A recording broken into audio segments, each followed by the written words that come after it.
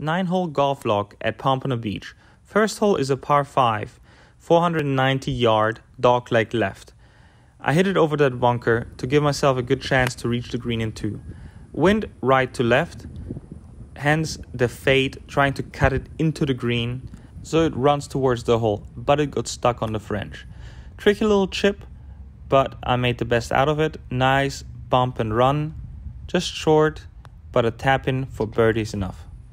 Off to hole number two, 400 yard, par 4, dog leg left, trying to shape the hole with a draw to give myself a shorter yardage into the green. This one was a little bit overcompensated, little snappy off to the left into the high grass. Tough, tough shot, but I'm able to open up the club face, get nicely through the ball, land the ball softly on the green, nearly hold out, but that putt was snappy, like the last two shots. Bogey on hole number two, off to hole number three, par three, 192 yard, cut three iron to make sure that it sits on the green and doesn't roll through. Now the putt looking really good and it lips out.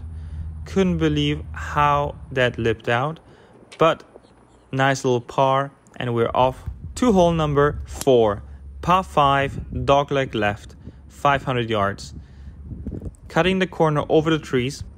Second shot, decided to lay up in order to give myself a 60 yard shot into the green that I control really well and have higher chances of making birdie from there. Comes out just how I wanted it, but lands next to the pin and rolls out.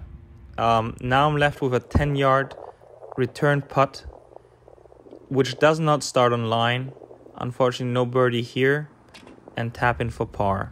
Hole number five, 385 yard, dog leg left. We're cutting the corner again to shave off some distance on that hole, and nice little approach into the green. Looks great. Yeah, we're putting for birdie.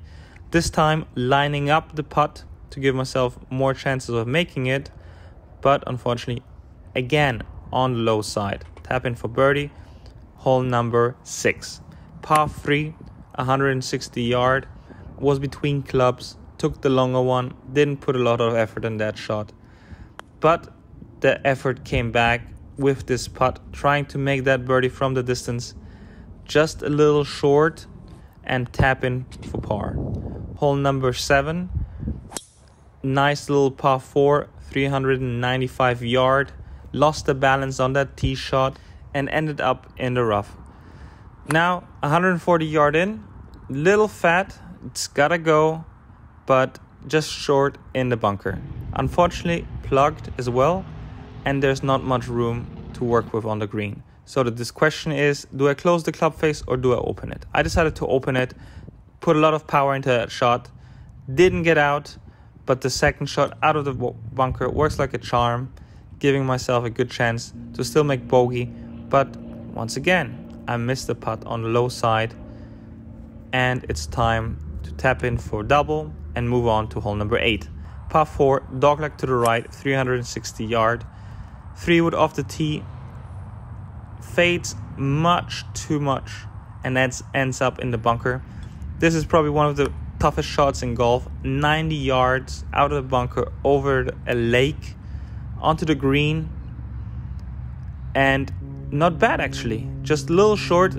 Definitely carried the bunker. That was good. And the approach now the chip like what i see. Now tap in for par. Not much of a tap in from that distance but par and we're off to hole number nine. Little push off the tee but it does carry the bunker giving me a 60 yard pitch into the green I gotta land it on the fringe and roll out because the pin is short. That's exactly what it does. Let's try to finish with birdie and we're in. Nice little finish. Great little round. Beautiful golf course.